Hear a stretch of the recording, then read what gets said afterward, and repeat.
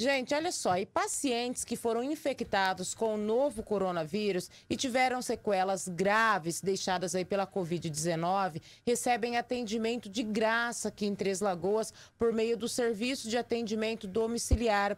Uma equipe multidisciplinar de profissionais da saúde da rede pública acompanha essas pessoas. A gente acompanha mais detalhes sobre esse trabalho, sobre esse atendimento agora na reportagem da Tati Simon. Sentar e levantar, dois movimentos que desde a infância o ser humano consegue realizar, certo? Tarefa difícil ainda para o Luiz Henrique, que está em fase de reabilitação no pós-Covid.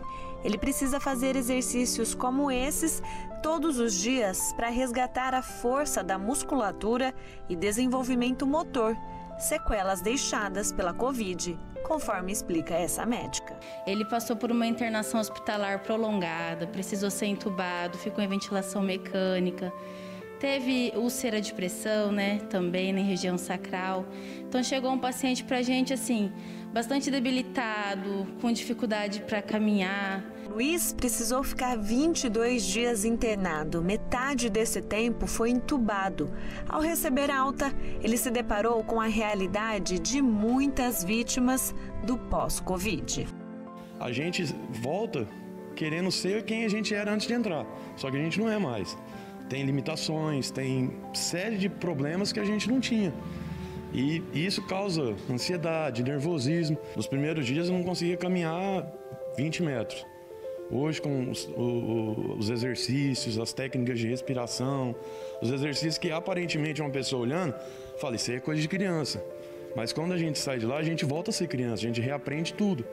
A andar, a segurar, a gente vem muito fraco. Então hoje eu já caminho 400, 600 metros, graças ao, ao tratamento deles. Então surte efeito. Em três semanas eu estou caminhando aí 600, 800 metros. Mesmo o pulmão sendo o órgão de entrada da doença, é comum encontrar relatos de pessoas que desenvolveram problemas psicológicos, neurológicos ou motores após a infecção pelo novo coronavírus.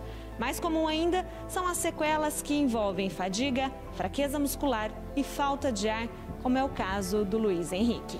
Focamos no fortalecimento muscular, cardiorrespiratório, pela parte respiratória estar comprometida né, no pós-Covid e pela fraqueza que ele adquiriu ficando acamado durante o tempo de hospitalização. E nós estamos, na verdade, devolvendo a autonomia desse paciente, porque ele era ativo, trabalhava, então eu tenho que restabelecer todas essas funções motoras, respiratória, para que ele possa desenvolver a atividade que ele exercia antes.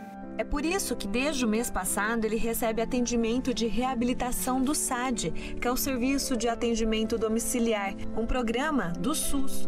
Nas visitas, a médica faz exame físico, o técnico de enfermagem faz aferições dos sinais vitais, medição da pressão, da frequência cardíaca, da saturação de oxigênio e da temperatura do Luiz. A fisioterapeuta da equipe acompanha nas séries de exercícios de fisioterapia e de respiração respiração motora.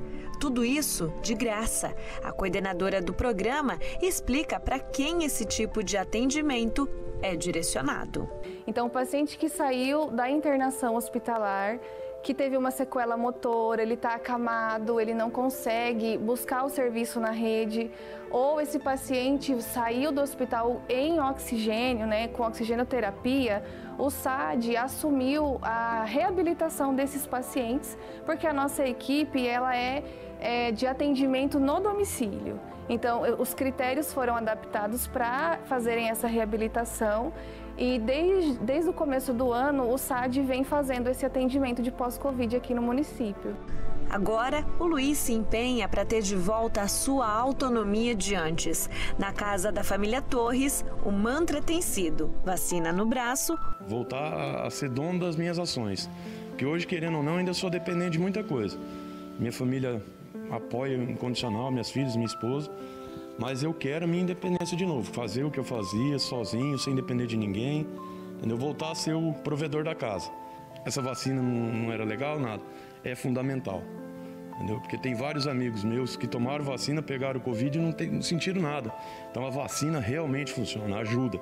Então essa história que, ah, eu não vou vacinar por isso, sai fora dessa, vacine.